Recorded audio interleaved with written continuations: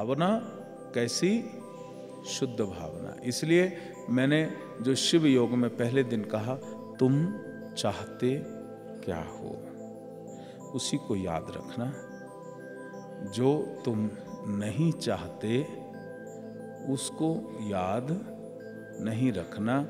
वो इसलिए तुमको तैयारी करवा रहा था कि जब तुम संभवी में पहुंचो तो जो तुम चाहते हो जैसे ही उसको सोचोगे संभवी वहाँ पहुँच जाएगी।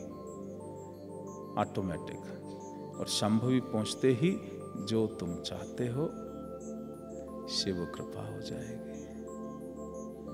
और अगर तुम जो नहीं चाहते, उसको सोचोगे, यानी कि मेरी प्रॉब्लम क्या है तो भी संभवी वहाँ जाएगी।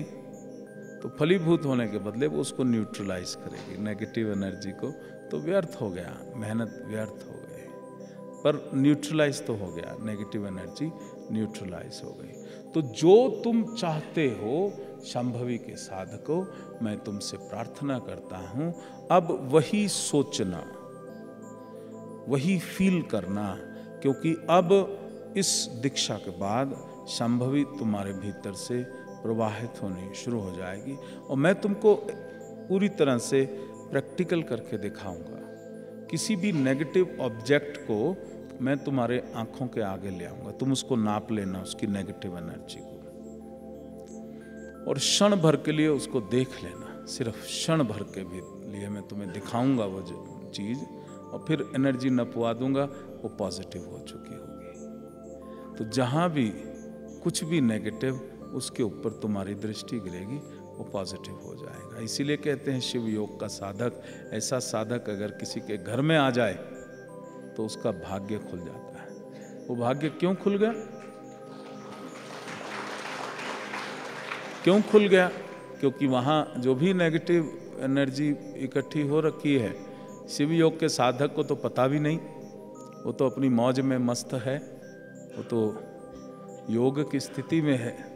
लेकिन जहाँ जहाँ उसकी दृष्टि पड़ेगी, आप मानोगे नहीं कि कई जगहों पर तो ऐसा हुआ है कि जहाँ कुछ जीवात्माएँ इस लोक में अटकी हुई थीं और वो मुक्ति पाना चाहती है। शिव योग का साधक जब संभवी शक्ति उसमें जागृत हो जाती है तो वो अगर वहाँ देखता है तो वो जीवात्मा की मुक्ति हो जाती, वो उच्च के लोक में असेंशन हो जाती।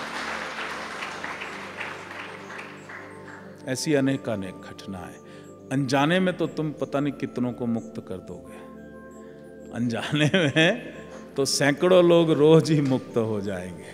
तो जहाँ जहाँ तुम गए, वहाँ वहाँ पता नहीं कितने सैकड़ों, हज़ारों सालों से जो अटका है, वो तो पार हो ही जाएगा। और जब वो पार होगा, तुमको बड़ा आशीर्वाद दे करके जाएगा। तो बड़ा जब वो आशीर्वाद देगा, वो सुख पाएगा तो तुम्हारी आत्म सुख जो है वो और भी प्रबल होगा।